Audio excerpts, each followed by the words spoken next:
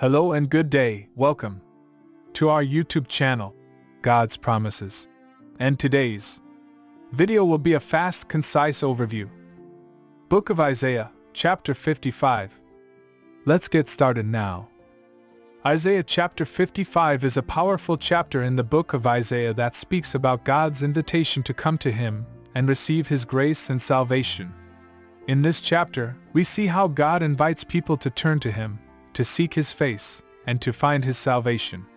The chapter begins with an invitation to come and receive God's free gift of salvation. The prophet Isaiah calls out to those who are thirsty to come and drink from the waters of life that God freely offers.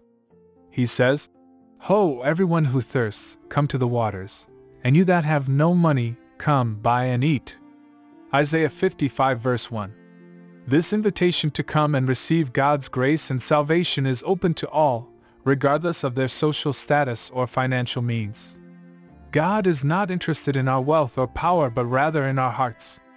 He invites us to come to Him just as we are, with our brokenness and our sin, and He promises to heal us, forgive us, and transform us.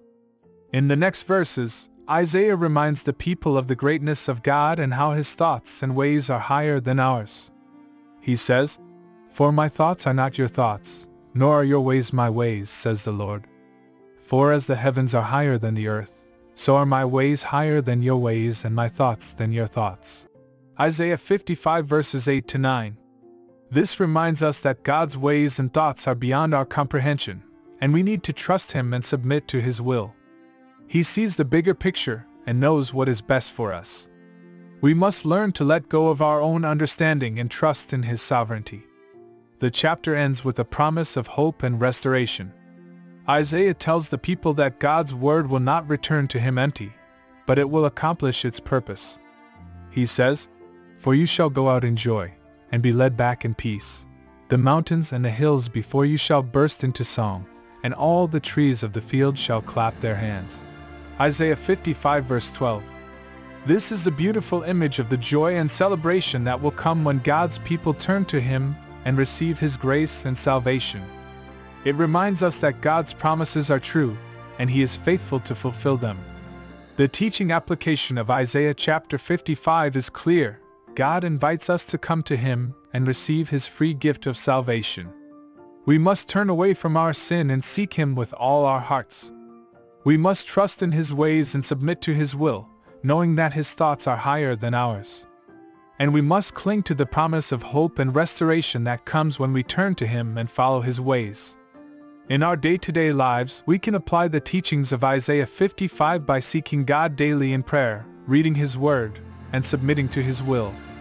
We can trust in his promises and cling to the hope that comes from knowing him.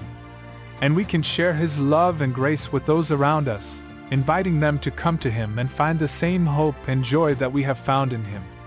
In conclusion, Isaiah chapter 55 is a powerful reminder of God's invitation to come to him and receive his grace and salvation. We must respond to his call by seeking him with all our hearts, trusting in his ways, and clinging to his promises. And we must share his love and grace with others, inviting them to join us on this journey of faith and hope. Thank you for visiting us today.